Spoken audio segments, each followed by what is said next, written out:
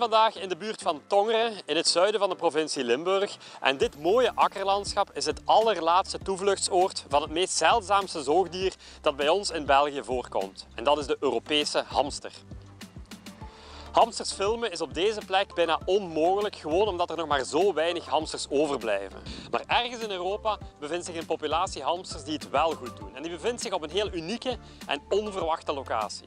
En om die hamsters te filmen ga ik naar Wenen, de hoofdstad van Oostenrijk.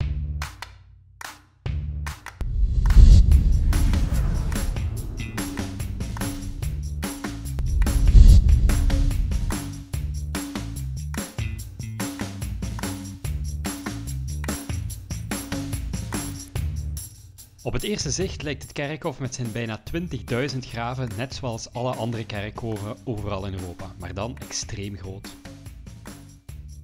Maar wanneer de avond valt, worden de bezoekers van het kerkhof vervangen door de vaste bewoners.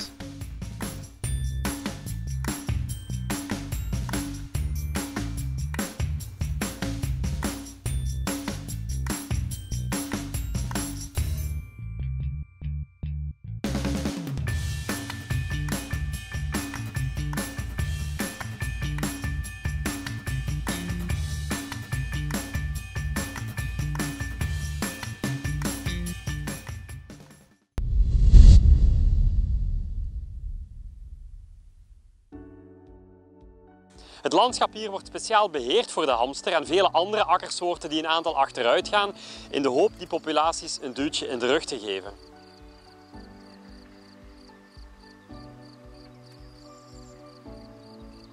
Onderzoekers die bestuderen hier ook de hamsters heel intensief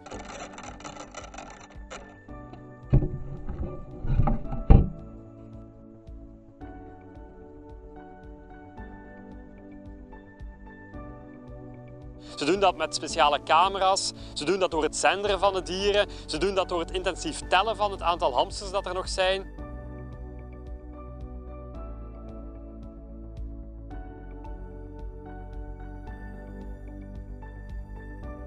En er is zelfs een speciaal kweekproject waarbij dieren in gevangenschap worden gekweekt om ze hier in dit leefgebied terug in de natuur uit te zetten. Allemaal in de hoop die hamsterpopulatie een duwtje in de rug te geven.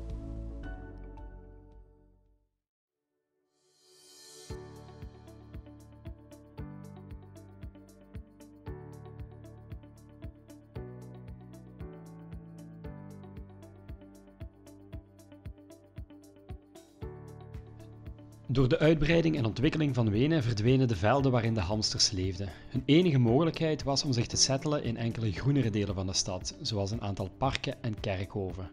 Maar dit deden ze hier wel met succes. De duidelijkste sporen van de hamster, de ingangen van een burcht, zijn overal zichtbaar, zelfs in het open gras. Maar het liefst van al hebben hamsters toch wat meer beschutting. En waar vind je een betere beschutting op een kerkhof dan onder de graven?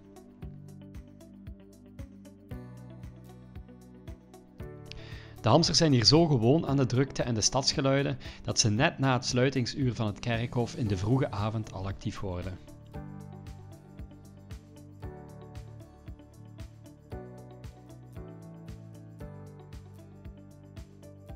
Hoe leuk dat het ook is om hamsters van zo dichtbij in Wenen te observeren, in België gaat het daar heel slecht mee. Zo slecht zelfs dat hamsters bij ons vermeld staan op de rode lijst van kritisch bedreigde diersoorten. De Europese hamster is van oorsprong een soort van graslandschappen en steppenlandschappen of kleinschalige landbouw. Maar die types van landschappen die zijn in heel snel tempo aan het verdwijnen en die worden vervangen door intensieve landbouw of steden. En op die manier vindt de hamster helemaal geen mogelijkheid meer om voedsel te vinden om de winter door te komen. En door het feit dat er bijna geen schuilmogelijkheden meer zijn, hebben roofdieren ook alle kansen om die hamster te pakken te krijgen. Die moeten geen moeite meer doen. Voor alle duidelijkheid, de roofdieren die zijn niet de oorzaak van de achteruitgang van de hamster. Het in snel tempo verdwijnen van het leefgebied, waardoor roofdieren geen moeite meer moeten doen, dat is wel een van de oorzaken van achteruitgang. De achteruitgang is zo ernstig dat op heel wat plekken in Europa de hamster in aantal met meer dan 75% is afgenomen. En in België bij ons is de situatie nog ernstiger.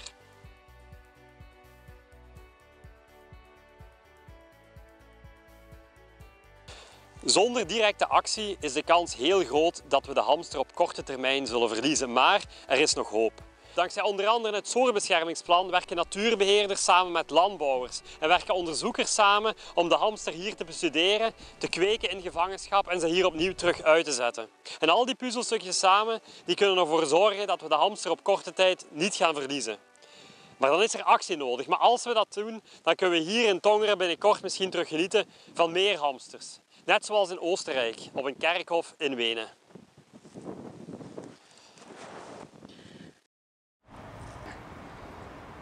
Deze komt al heel dicht. Het is eigenlijk niet te begrijpen dat hamsters het bij ons zo slecht doen en zo schuw zijn. Hij zit hier gewoon op mijn schoenen.